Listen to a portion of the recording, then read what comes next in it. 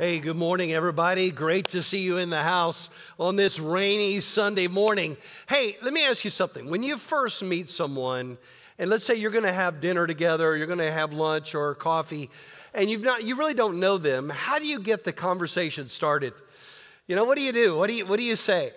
Uh, I, when, whenever I meet somebody for the first time, and my friends kind of make fun of me for this because I say this almost regularly, uh, I'll sit down with somebody, I'll say, So, Tell me your story. Tell me your story. And, and usually they're like, okay, so like, where do you want to start? I'm like, just start at the beginning. Where were you born?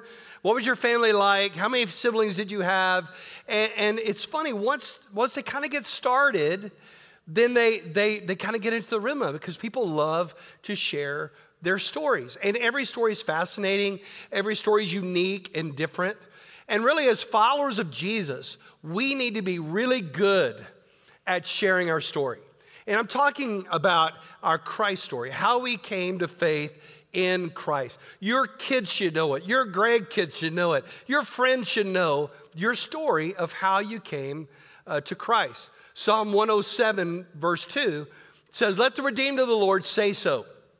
But in the, in the CSB, it says it this way Let the redeemed of the Lord tell their story. Don't you love that? Man, we should just be good at telling our story. We sang that song. This is my story. This is my song.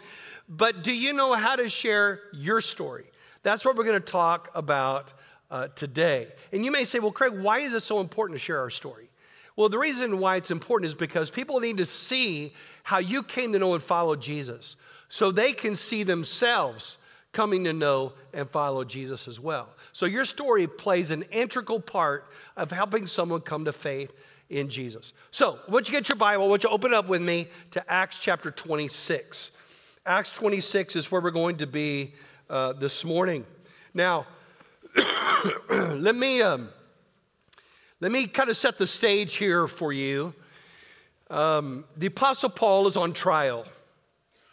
He's on trial. In Acts chapter 21, Paul was accused of bringing a Gentile into the restricted area of the temple complex in Jerusalem, something he did not do. But because of the accusation, a, a murderous crowd began to swirl around him and they tried to kill him on the spot. He was literally rescued by soldiers, Roman soldiers, that uh, protected him and then remanded him to Governor Felix, who was the Roman governor, procurator of, uh, of Israel at the time. And he had him incarcerated way up in the north at Caesarea Maritima, which is right on the Mediterranean Sea up in the north part of Israel. And then subsequently, Felix had a trial. He invited all the religious leaders to bring their accusations, present their evidence. Paul made a defense. They did not present a good case. Paul was clearly not in the wrong. And yet, Felix left him in prison, often bringing him out to talk to Paul, and secretly hoping that Paul would offer him a bribe so he could let him go. Now, Felix has stepped down, and a new governor has come into power. His name is Festus. And Festus looks over his outstanding cases. See, there's a guy, Paul, here that's still on the books. So he has a second trial. Again, he calls the religious leaders up from Jerusalem, and they present their case, their evidence. Festus, again, doesn't see anything wrong with Paul, and yet Paul remains there in prison. Now, Paul's going to be in prison up in Caesarea uh, Maritima for two years, two years under this false accusation.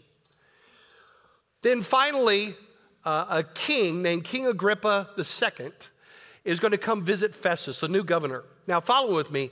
King Agrippa was the last of the Herodian dynasty. Whenever you read the Gospels, you read Herod did this and Herod did this and Herod did this. You think it's all the same guy. It's not. These are, these are uh, father, son, father, son, all the way through. There's a Herodian dynasty. So this guy is the last of the Herodian dynasty. Now, the, pretty much Israel is governed by Roman governors or procurators but they allowed Agrippa, because of his family line and heritage and so on, to govern a little small piece up in the north. But he was helpful to the Romans because he was Jewish and he could kind of negotiate Jewish issues. And so here is Agrippa. He comes in to visit Festus, the new Roman governor, and he's like, hey, you know, I got this case. this guy named Paul, and it's, it's a religious thing, and I don't really understand all that. You're Jewish. How about you sit in on a, a trial, if you will, or at least hear him out, and, and maybe you can advise me on what to do with this guy. So Herod uh, Agrippa is quite happy to be brought into this situation. And so this is what we find in chapter 26. Paul is going to stand before King Agrippa and his sister Bernice and the governor Festus and a host of other leaders in a theater. Now, here's what you need to understand about Agrippa, all right? King Agrippa the second, right? His father, King Agrippa the first, actually killed James the apostle. His father before him, King Herod Antipas, killed John the Baptist and also sat in judgment over Jesus. Uh, his father before that killed all the baby boys in Bethlehem. So this is like uh, this is like a mobster family, all right? He, he's like, I got an offer you can't refuse, all right? You can see now. Now, knowing that history, you I, I don't know about you. I'd be very intimidated. All right, this is not a good record. There, every one of the Herods, you know, kills some, you know, prominent Christian, you know, so I, I'm not so sure. But Paul is going to stand before King Agrippa with great boldness. Now, I want you to kind of get this picture. They're, they're in a theater. At the end of chapter 25, it says that Agrippa comes in with great pomp. Uh, the Greek word for pomp there is fantasia, with great fantasy, with great fanfare. Here he comes parading in. All the leaders are there. Herod is, is in a royal robe. Paul is in rags. Herod has a crown on his head. Paul is in shackles. Herod uh, is the epitome of power. And yet, Paul appears very, very powerless. And yet, in that moment that would be so intimidating, in that moment, Paul is as bold as a lion. And Paul boldly shares the gospel of Jesus Christ. And Paul does so through his story. He leverages his story. Now, we're going to look at his story this morning, and we're going to look at it as a model for how you can share your story. Now, listen, I, I hope that you're never going to stand trial. I hope that you're never going to stand trial for your faith. There are Christians all over the world that are, even today, standing on trial for their faith. I hope that you never have to do that. But I want you to understand that you are being judged every day as a follower of Jesus, people are watching you to see does your walk match your talk? Are you really legit? Do you really follow Jesus? And so we need to really get good at, in that context of sharing our story.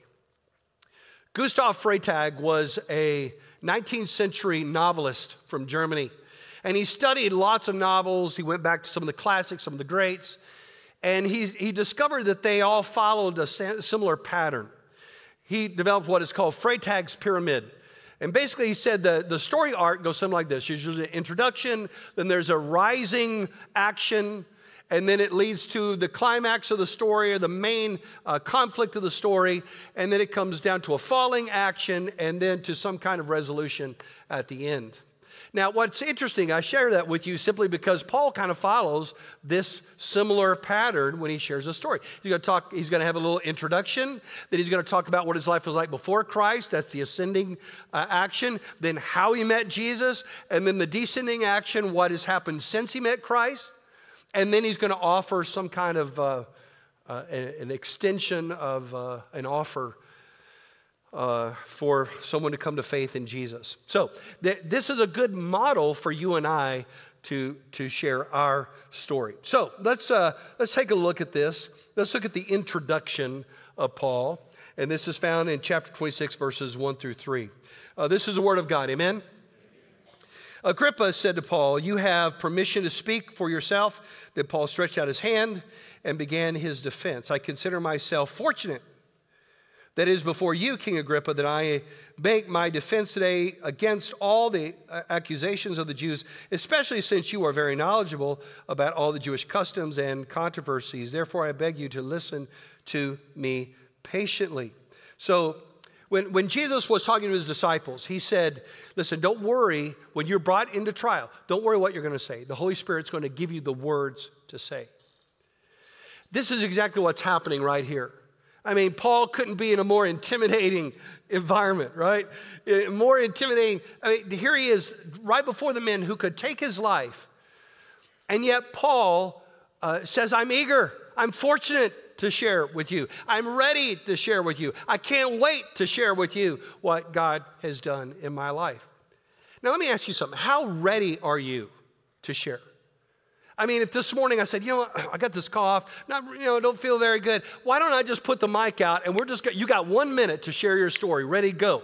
Would you know how to share your story? Could you say it quickly, succinctly, and powerfully? Well, we're going to learn here how to do just that. We need to be ready and eager to share our story. Think about it lawyers prepare witnesses uh, before they take the stand so that their testimony is clear. In the same way, you are a witness of Jesus Christ, and you need to be prepared and ready to share what God has done in your life. All right, so the first thing Paul does is he talks about uh, how he used to be. First thing you need to do is share who you used to be. Look at verse 4. All the Jews know my way of life from my youth, which was spent from the beginning among my own people and in Jerusalem. They have known me for a long time. And if they're willing to testify that according to the strictest sect of our religion, I lived as a Pharisee. I love, he, he goes, you know, these people know me for a long time. He's probably pointing over them. These guys, I've known these guys for a long, long time. They know me since I was very, very young. They will tell you that I was a strict Jew.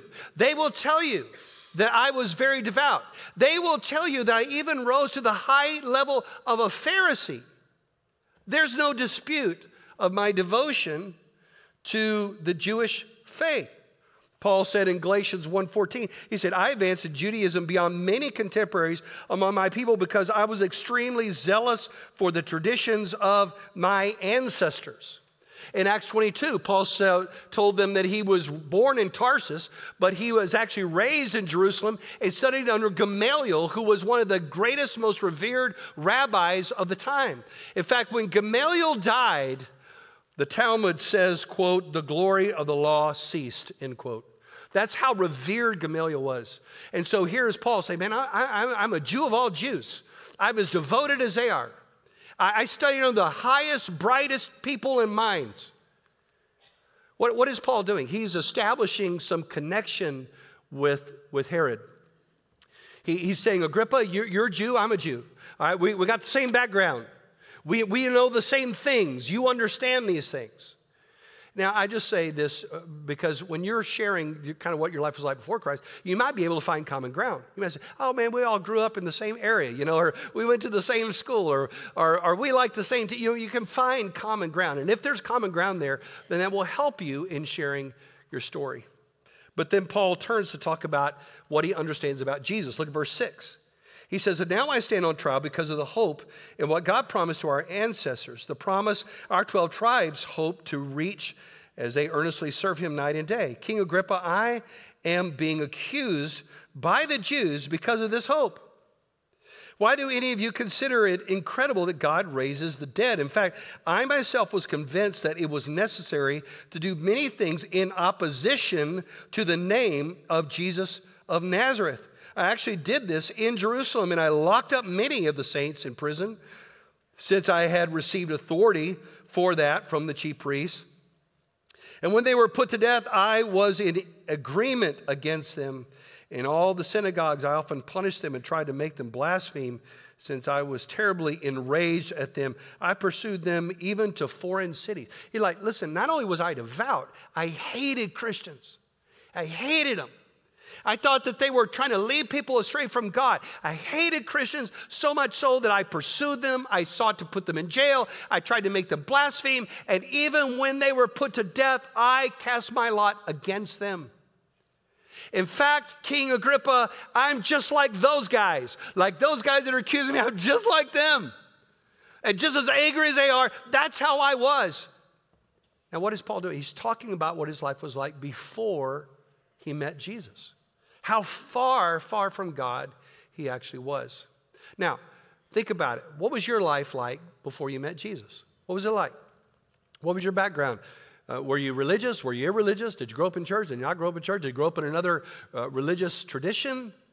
Were you eager? Were you apathetic? Were you hostile? What, what was your attitude generally like uh, before you came uh, to know Jesus? You know, I've had friends of mine who were, you know, they had no religion at all in their background. I've had some that were just partiers and didn't give it much thought. I've had some that grew up in church. You know, for me, I grew up in church uh, as a, a, church kid. My dad was uh, a, a worship pastor. And I grew up hearing about Jesus from my youth. I grew up in church. I was in the choir in the alto section nine months before I was born. You'll get it in just a minute, all right? Anyway, uh, and uh, so I mean, this is how I grew up, but I didn't know Christ. I heard people talk about knowing God. I didn't know Him.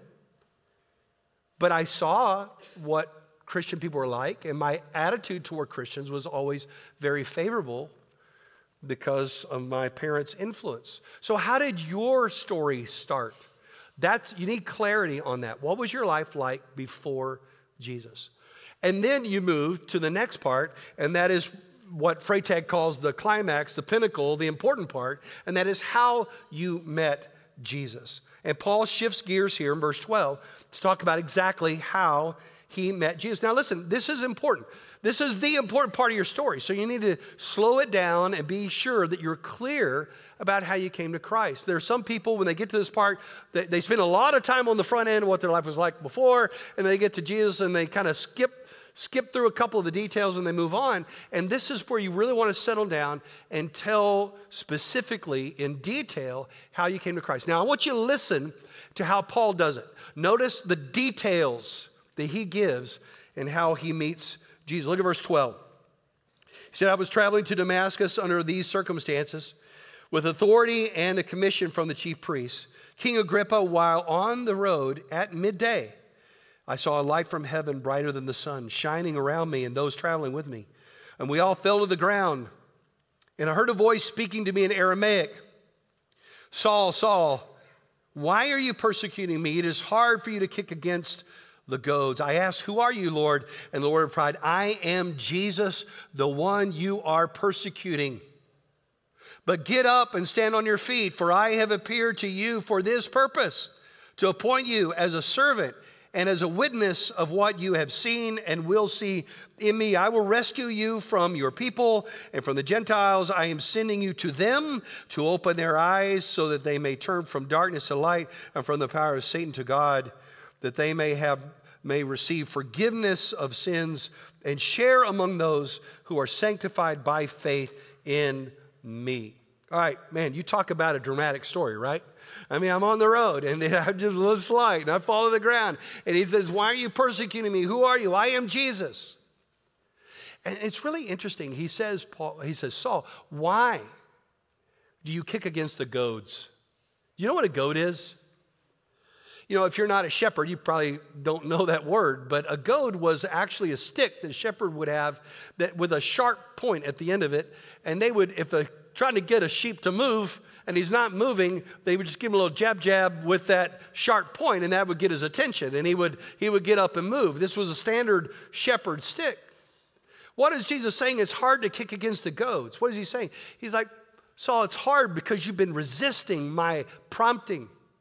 I, have been poking at you, I've been directing you, and, and you've been resisting me. Why? Listen, the truth is, there's some in this room that you're resisting. You're kicking against the goads. You're, you're, maybe God's brought a, a, godly person in your life that's trying to share with you the gospel, and you're like, ah, I, don't, I don't need that, I don't want that. And you're resisting, you're resisting, you're resisting, you're kicking against the goads. Maybe, maybe you heard a gospel message from a pastor or maybe on social media, and, you, and God's just moving in your heart, and, and, there's a drawing, but you're just kicking against the goat. I've found that people that are the most hostile toward the gospel are the ones that God's been prompting and pushing them, and they're resisting it with this violent force because God is really goading them, prompting them to actually come to faith in him.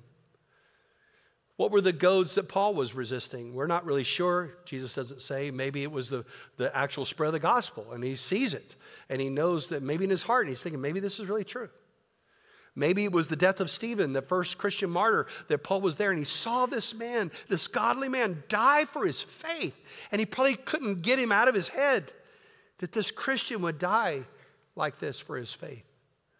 Whatever the case was, Jesus said, You're resisting me, Paul, you're resisting me. But at this point, Jesus knocked him to the ground and he got his attention. And Paul was very, very clear about how he gave his life to Christ. So let me ask you something. Are you clear on when you gave your life to Christ? Are you clear?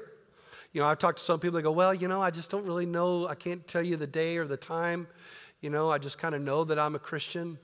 But can you point to a time when you were far from God? Can you point to a time when you heard the gospel? Can you point to a time when you were convicted of your sin? Can you point to a time when you asked Jesus by faith to forgive you and to come into your life? Can you point to a time when your life uh, when you met Christ. You know, if I said, uh, you ever met Tom Brady? Oh man, yeah, I, absolutely. I met, Tom. well, where was it? Well, man, I was at this deal and we came, came out of the restaurant. we bumped into each other. I mean, you could tell me specifically a time you met a celebrity, but can you tell me specifically the time you met Jesus? And be very specific. When was it? How was it? Who was there? What went on? And the reason, again, is because when you're specific and clear, then that person that's hearing it can then be clear what it means to come to faith in Jesus. For me, I was a young boy. I was sitting in, the, in, the, in a pew just like kind of where you are today. The pastor was preaching the gospel, and I'd heard the gospel multiple times from my parents, but that day I just heard it different. And I, and I just heard that God, Jesus died on the cross for me. And, and I felt like, you know, if, if, he died and loved me enough to die for me, that I wanted to live for him. And I remember I was feel very convicted of my sin, even as a young boy, convicted of my need for forgiveness. So much so that after the service was over, I ran down a pastor and I said, I, I need to give my life to Christ right now. And so we went back into the auditorium. Everybody was cleared out. It was on the front row uh, that we got down on our knees and I asked Jesus to come into my life. I can tell you where, how old I was, I can tell you where I was, uh, I can tell you the moment that I gave my life to Christ. And so here is, here is Paul doing the same thing. He's giving you specifics on how he came to Christ. But he doesn't stop there. He goes on to share how Jesus has changed his life. So this is kind of that descending action in Freytag's uh, uh, pyramid there. He's going to talk about the difference Jesus has made. Look at verse 19. So then, King Agrippa, I was not disobedient to the heavenly vision. Instead, I preached to those in Damascus first, and to those in Jerusalem and in the region of Judea, and to the Gentiles that they should repent and turn to God and do works worthy of repentance. For this reason, the Jews seized me in the temple and were trying to kill me. To this very day, I have help, I've had help from God, and I stand to testify to both small and great, saying nothing other than what the prophets and Moses said would take place. In other words, he's saying, you know, this very reason, you know, I've been spreading the gospel, man. I've been doing what God told me to do. Jesus said to be his witness, and I've been doing that. My life has been radically changed. I mean, you can't, you got to give him credit. You know, talk about a dramatic testimony. Paul had one, right? I mean, he went from hating Christians to loving Christians. He went from uh, trying to stomp out churches to planting churches. He went from trying to stop the movement to fu- fueling the movement. And so his life was dramatically changed as a result of it. And listen, if, if you have given your life to Christ, there should be some difference in your life. I've heard people say, well, people never change. But the gospel says otherwise. The gospel says otherwise. If any man is in Christ, he's a new creation. The old is gone and the new has come. And so, listen, if you've given your life to Christ, then there should be a difference. Now, now listen, the difference may not be just hugely dramatic, especially if you gave your life to Christ early on. If you gave your Christ as a young child, you may not be super dramatic like Paul, you know. I remember hearing the story of a, a country church, and they were having testimony night on a Sunday night. And so they had the mic out, and people were filing through, telling their testimonies, and then they'd sing songs in between. This one granny gets up. She's very feeble. She gets up to the mic and she says, I want to praise the Lord Jesus. Everybody says, Amen. For he delivered me. And then she goes on to talk about all this wild living and, and drunkenness and immorality and all these kind of sensational sins. And everybody's like, Ooh, Granny did all those things. And, and she got to the end of it. She said, I want to praise him because he delivered me from all that. Because I gave my life to Christ when I was a young girl, I didn't have to go through any of those things. Isn't that great? Listen, maybe that's you. Man, God just delivered you as a, as a youngster, and now you get, you know, whenever I see kids that are baptized, man, I praise God for that. That, that God has saved them young. They have their whole life to live for God, right? They have their whole life to be a witness for the Lord Jesus. So don't be ashamed of that testimony. But you need to be able to share the difference Jesus has made. Maybe you were once afraid of death and now you're not afraid of death anymore. Once you had, you're just living for yourself and for what you could get out of life. And now you realize there's a greater purpose in life. I, I don't know what your story is, but there needs to be a difference that Jesus has made that is compelling you know, for me, I gave my life to Christ when I was a young boy. Now, I, I had a lot of my sinning to do after that, right? But, but I, I, I thank the Lord as I come back to, to that moment in my life that Jesus saved me. And uh, I can just say that even right at the very beginning, after I gave my life to Christ, there was a difference. I, I had a hunger for the Word of God, I had a desire to please God. And there were times when that swelled and times when that waned, but I, I praise God that He's patient with me. And even in those times when I did fail Him, that God's forgiveness was new every morning. So, listen, what is the change? How has Jesus changed your life? So, you want to start with what your life was like before Christ, then how you met Jesus specifically, and then the difference He's made. Now, notice in verse 23, He really lands on the gospel. Look at verse 23. He said, The Messiah would suffer, and that as uh, the first to rise from the dead, he would proclaim light to the people and to the Gentiles. That's really the essence of the gospel. He said, This is all what the Old Testament talks about. The Messiah is going to come, he's going to suffer, he's going to rise again, he's going to proclaim faith and life, not only to Jewish people, but the Gentiles. He said, This is all that the Old Testament is driving to. And Paul nails the gospel right there. And as you share your story, you need to be sure that you don't skip over the gospel, right?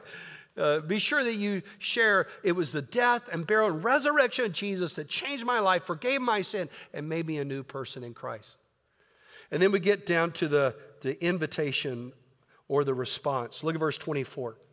And as he was saying these things, in, the, in his defense, Festus exclaimed in a loud voice, You are out of your mind, Paul.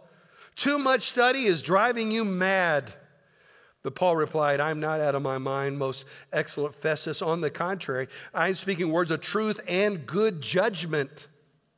For the king knows about these matters, and I can speak boldly to them, for I'm convinced that none of these has escaped his notice since this was not done in a corner. I love what Festus goes. He's like, listen, he goes, Paul, you're just crazy. Paul, you just, you just, Paul, you just lost it. You just lost it, man. You're just nuts. All this studying has gone, affected your brain somehow. You're like a in a padded cell, you know? And and Paul is like, no, no, no, no, I'm not crazy. In fact, he goes on to say, uh, what I'm telling you is true, and the CSB says sound judgment. I don't know what your version says, but it literally means uh, it is it is sane. What I'm telling you is true and sane. What I'm telling you is true and sound. It is true and rational. It is true and logical. And then he goes on to point to, I'm sure, uh, Agrippa there and say, the king knows these things. These things have not escaped his notice. All these things, the death of Jesus, the resurrection of Jesus, the empty tomb, this was not done in a corner. This was public knowledge. These are the facts. You know, you may have people tell you when you share your story, I just think you're nuts. I just think this whole Jesus thing is just a bunch of made up. And uh, I think you're crazy to say that you believe these things. And if you hear that, then just do what Paul did just point to the facts, point back to the historical accounts, point back to the eyewitness testimonies, because these facts will hold their own. All right? They'll hold their own. And then look again at what Paul then says to Agrippa. Verse 20, 27. King Agrippa, do you believe the prophets? I know you believe. Agrippa said to Paul, Are you going to persuade me to become a Christian so easily? I wish before God, replied Paul, that whether easy or with difficulty, not only you, but all who listen to me today might become as I am, except for these chains. Don't you love that? I just love the fact that Paul is so bold. I mean, think, think about it. He's on trial for his life. Here's the king and the, and the Roman provincial governor. They, they have the power in that moment to take his life. And Paul is not going, oh, you know, uh, he's not backpedaling. He's not watering it down. He's not kind of making excuses. Well, maybe I kind of got this wrong, or it's just kind of how I see it, or it's just my perspective. He doesn't do any of that. I mean, it's like he just surges with boldness, I believe, filled with the Holy Spirit in that moment to boldly declare that his life has been changed by Jesus. Now, listen, you have an opportunity to do the same thing. When was the last time you shared with somebody how you gave your life to Christ? Let me just start off easy. Do your kids know how you came to Christ? Have you shared that story with them?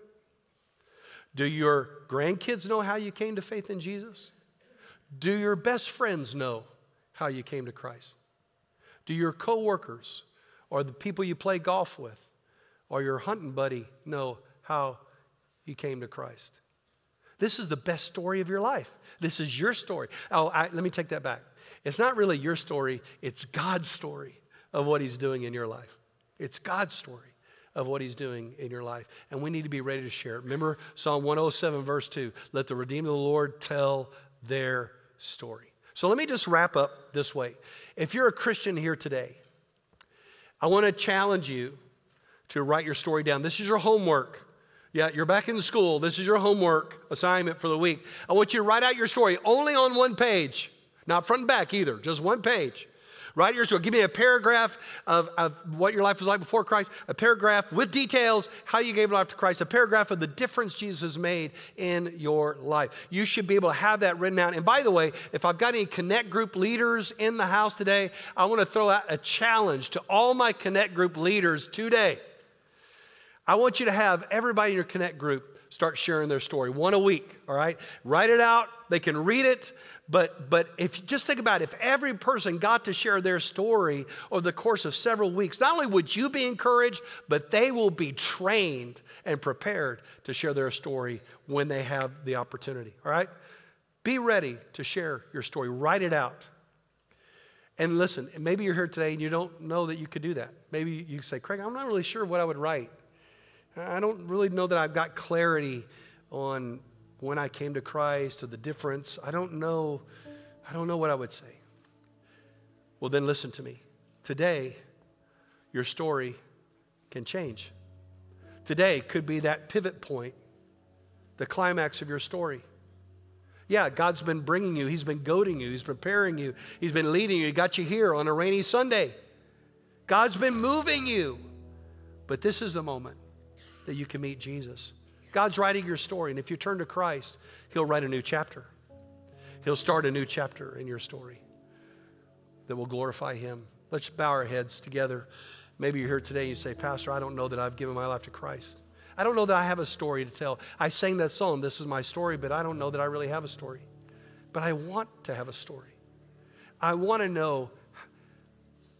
I want to know Jesus, and I want to be able to share that I know Jesus. Now, I want to give you an opportunity to do that right now, just with your heads bowed, nobody looking around.